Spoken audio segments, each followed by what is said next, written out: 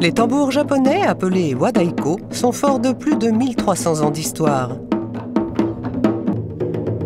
À l'origine, leur fonction était rituelle. On en jouait dans les temples et les sanctuaires à l'occasion des fêtes. Le wadaiko joue aujourd'hui encore un rôle important dans les arts traditionnels, comme la musique de cour gagaku et le théâtre kabuki. Le type le plus commun est le tambour long Nagado Daiko. Il y a aussi le gros tambour Odaiko qui peut faire 2 mètres de diamètre. Le petit Tsukeshime Daiko produit un son plus haut et plus léger. La combinaison de ces différents tambours donne une musique riche et variée.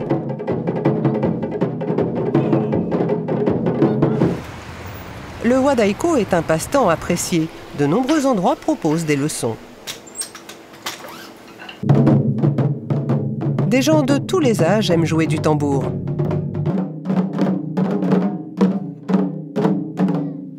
C'est sympa quand tout le monde joue en rythme. J'aime bien ça. Parfois, j'ai l'impression que mon cœur bat au rythme des tambours. Beaucoup de gens aiment le wadaiko pour son instantanéité. Plus on frappe fort, plus le son est puissant. Leur secret réside dans leur structure interne. L'intérieur est sculpté de façon à produire une forte réverbération.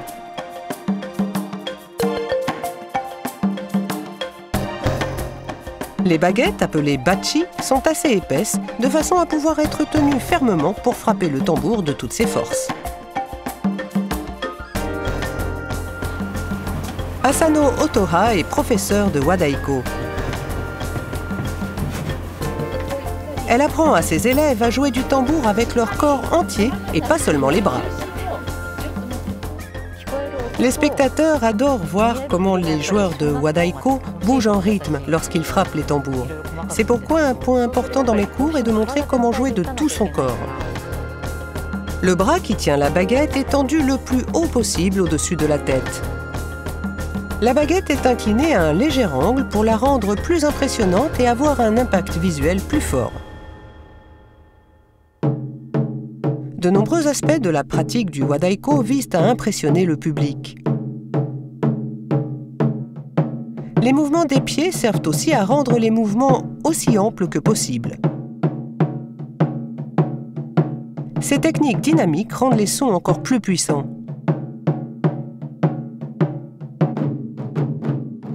Aujourd'hui, le groupe s'entraîne avant une fête d'été. Ce morceau est toujours joué dans une fête appelée Orayashi. Rappelez-vous de tenir les baguettes différemment pour les sons forts et légers. Pour un son faible, il faut peu les soulever. Plus vous levez la baguette, plus le son sera fort. Tout dépend de la distance à laquelle se trouve la pointe.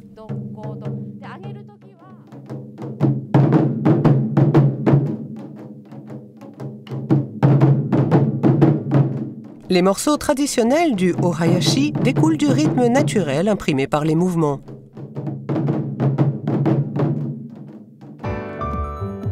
Différentes façons de frapper le tambour produisent différents sons, et c'est difficile de garder le rythme quand ça va vite. C'est amusant mais dur à maîtriser. Il faut vraiment beaucoup s'entraîner. J'aime la façon dont un instrument peut produire tant de sons différents. C'est un peu comme tisser une étoffe compliquée les joueurs de Wadaiko concentrent tout leur corps et toute leur âme dans chaque coup donné sur le tambour. Esprit qui rend les spectacles de Wadaiko si fascinants.